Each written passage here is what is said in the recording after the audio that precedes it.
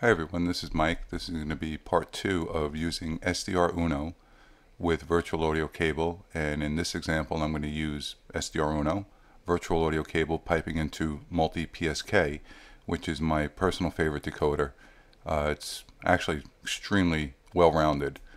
Uh, we're going to decode a CW signal in the 40 meter band and uh, let's begin. I'll give myself a little separation between the LO and the tune. Going to begin with SDRuno, and we're going to look for some CW signals in that 40 meter band.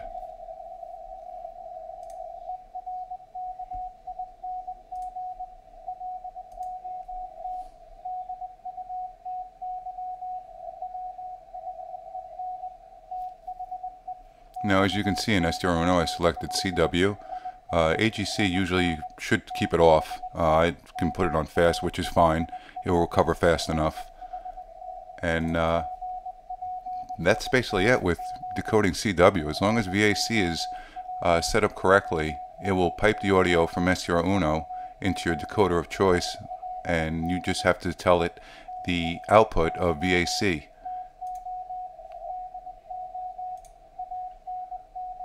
As I did over here. I just told it virtual audio cable, it knew to use that, and it does its thing, it decodes.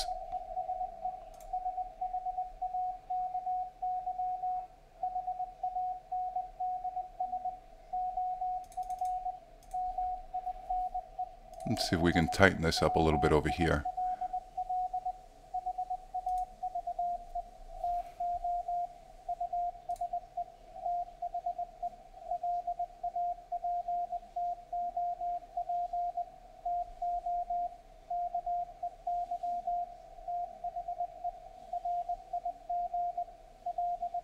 And here's another very strong CW carrier. We'll wait for him to come back.